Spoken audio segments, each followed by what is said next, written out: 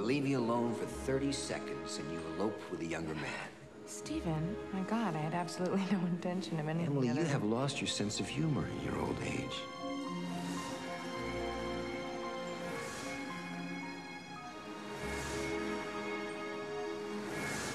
I can't do this anymore. It's not right. I've got to tell him. We waited this long. Let's just hold off so we can figure it out together.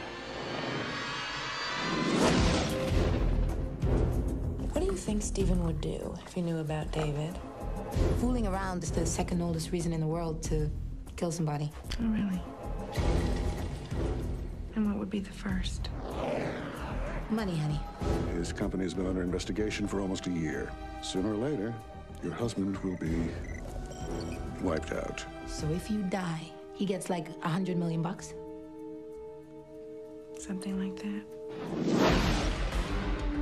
That's not happiness to see me, is it? He was waiting for me. Something's wrong. He knows. You did not meet my wife by chance. She is in love. You're in business. It's called a con, and my wife is the grand prize. Now what? Half a million dollars. Tax free. Just for walking away from her? I said tax free. I didn't say free. What's 500 grand for?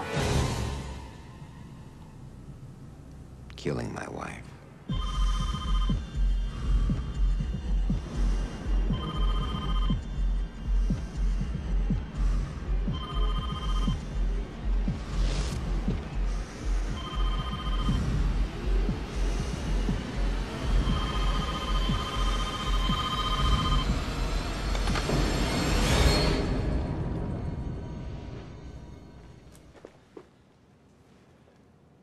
That's not happiness to see me, is it?